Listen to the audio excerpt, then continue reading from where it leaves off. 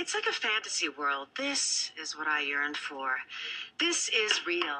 This is sticky. So you're staying in a really fancy hotel? Well, I came straight from the airport, so